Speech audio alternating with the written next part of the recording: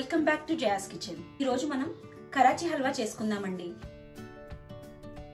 ఇది నేను చెప్పినట్టు మీరు స్టెప్ బై స్టెప్ ఫాలో అవుతూ చేశారనుకోండి అచ్చం స్వీట్ షాపుల్లో ఎలా ఉంటుందో అలాగే చాలా టేస్టీగా చూయి చూయిగా చాలా ఎమ్మీగా ఉంటుందండి. దీనికి కొలతలు చాలా ముఖ్యమండి. మనం ఏ ఇంగ్రీడియంట్ ఎంత కొలతల్లో తీసుకోవాలో సరిగ్గా తీసుకున్నాం అనుకోండి చాలా టేస్టీగా ఉంటుంది. ఈ కరాచీ హల్వా చేయడానికి కావాల్సిన ఇంగ్రీడియంట్స్ అండ్ కొలతలు చెప్తానండి ఇప్పుడు. ఈ కరాచీ హల్వాకి కావాల్సిన మెయిన్ ఇంగ్రీడియంట్ కార్న్ ఫ్లోర్ అండి. ఈ కార్న్ ఫ్లోర్ను బట్టి మిగిలిన వాటిని కూడా ఎంత తీసుకోవాలో చెప్తాను. Corn flour two fifty grams తీసుకోవాలండి. ఈ కార్న్ ఫ్లోర్ పావు కేజీ తీసుకున్నాం అనుకోండి అలాగే దానికి ఒక పావు కేజీ నెయ్యి తీసుకోవాలి. అలాగే దానికి నాలుగింతలు పంచదార అంటే కేజీ పంచదార తీసుకోవాలండి. కొంచెం ఫుడ్ కలర్ కొంచెం సిట్రిక్ యాసిడ్ అంటే నిమ్మప్పు అంటారు కదండి దాన్ని సెవెన్ గ్రామ్స్ తీసుకోండి. ఒకవేళ మీ దగ్గర అది లేకపోతే కనుక నిమ్మకాయ తీసుకున్నా సరిపోతుంది. ఈ టూ ఫిఫ్టీ ఎంఎల్ కార్న్ ఫ్లోర్కి త్రీ ఫిఫ్టీ ఎంఎల్ వాటర్ వేసుకోవాలండి. వేసుకొని ఉండలు లేకుండా కలుపుకోవాలండి. కొంచెం అడుగు మందంగా ఉన్న గిన్నె తీసుకోండి. ఈ corn flour two fifty grams తీసుకుంటే దీనికి మూడు అంతలు వాటర్ తీసుకోవాలండి. అంటే సెవెన్ ఫిఫ్టీ ఎంఎల్ వాటర్ తీసుకోవాలి. దీంట్లో సెవెన్ ఫిఫ్టీ ఎంఎల్ వాటర్ పోసుకున్నామండి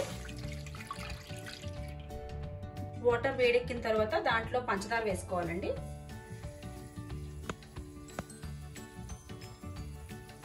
పంచదార కరిగితే చాలండి. పాకమే రావాల్సిన అవసరం లేదు.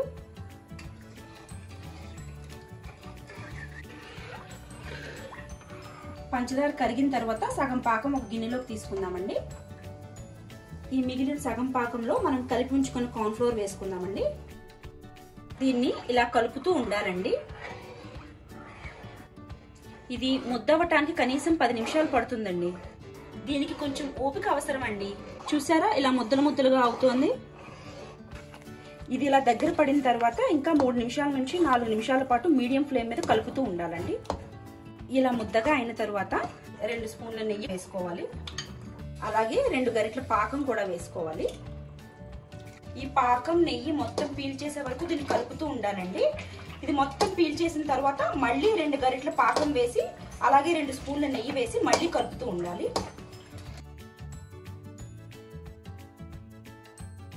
ఇలా మొత్తం పీల్ చేసుకున్నాక మళ్ళీ రెండు గరిటల పాకం వేసుకోవాలండి. అలాగే రెండు స్పూన్ల నెయ్యి కూడా వేసుకోవాలి. నిమ్ముప్పులో నీరు కలిపి ఉంచుకోవాలండి. దాన్ని కూడా కొంచెం వేసుకోవాలి. దీన్ని ఇప్పుడు మళ్ళీ కలుపుకోవాలండి. ఇలాగే ఇది మళ్ళీ పీల్చిన తర్వాత మళ్ళీ దీంట్లో రెండు గరిటెల పాకం అలాగే రెండు స్పూన్ల నెయ్యి కొంచెం నిమ్మప్పు నీరు వేసుకుంటూ కలుపుతూ ఉండాలండి. ఇలా ఈ ప్రాసెస్ మొత్తం జరగటానికి అరగంట పైనే పడుతుందండి. అప్పుడే మనకి చూయి చూయిగా ఉండే హల్వా రెడీ అవుతుంది.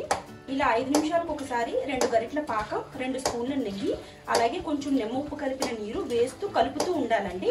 అప్పుడే ఫ్లేవర్ మొత్తం లోపల వరకు మొత్తం చేరి స్వీట్ చాలా టేస్టీగా వస్తుంది.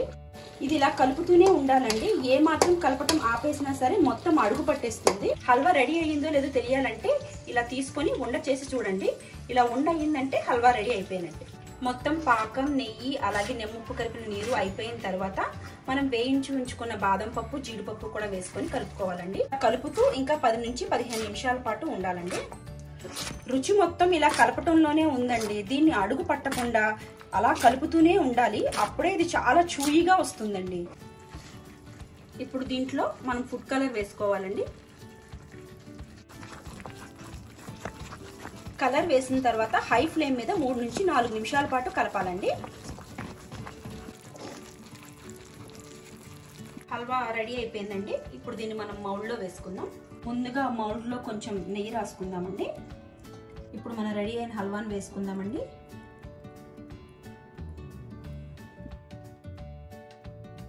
దీన్ని నాలుగు నుంచి ఐదు గంటల పాటు సెటిల్ అవ్వనివ్వండి ఆ తర్వాత దీన్ని ముక్కలుగా కట్ చేసుకుందాం.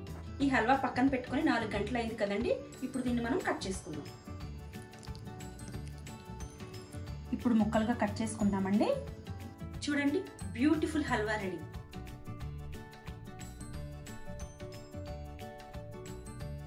మీకు కనుక నా వీడియో నచ్చినట్టయితే లైక్ చేయండి షేర్ చేయండి and subscribe to my channel.